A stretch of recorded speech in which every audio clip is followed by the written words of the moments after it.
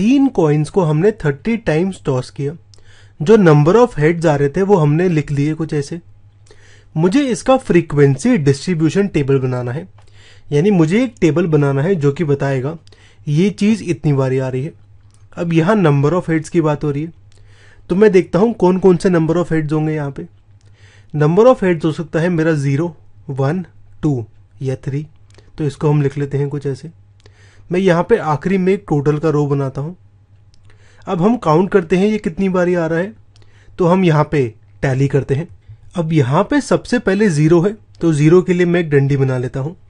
इसको हम काट लेते हैं यहाँ पे। अगला वन है तो वन के लिए एक डंडी बना लेता हूँ। ऐसे ही टू है तो टू के लिए एक डंडी। सिमिलरली टू दोबारा आ रहा है तो इसके लिए एक और डंडी। फिर वन आ रहा है तो वन के लिए एक डंडी।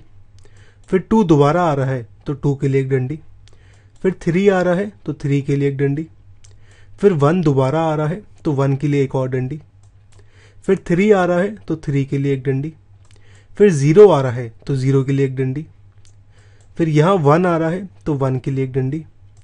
फिर थ्री आ रहा है तो थ्री के लिए एक डंडी। फिर वन दोबारा आ रहा है। अब यहाँ पे वन मेरा फिफ्थ टाइम आ रहा है तो यहाँ पे हम एक डायगनल बनाते हैं कुछ ऐसे। ये होता है मेरा फाइव का गुच्छा फाइव का मेरा बंडल होता है ये। सिमिलरली हम यहाँ पे बाकी कर लेंगे। तो ये मेरा कुछ ऐसे आ जाएगा। अब यहाँ पे हम काउंट करते हैं, यानी इसकी फ्रीक्वेंसी बताते हैं। अब यहाँ पे ये वाला गुच्छा होगा मेरा फाइव का प्लस वन यानी ये होगा मेरा सिक्स सिमिलरली यहाँ पे फाइव प्लस फाइव टेन हो जाएगा। ये होगा फाइव प्लस फोर नाइन और ये होगा मेरा फाइव अगर मैं इनका सम करूँ तो ये मेरा थर्टी आना चाहिए, क्योंकि यहाँ पे हमारा थर्टी टाइम्स कॉइन टॉस हुआ है। अगर थर्टी नहीं आ रहा है तो हमने कुछ गड़बड़ की है। हमारा फ्रीक्वेंसी डिस्ट्रीब्यूशन टेबल कुछ ऐसे आ जाएगा फिर।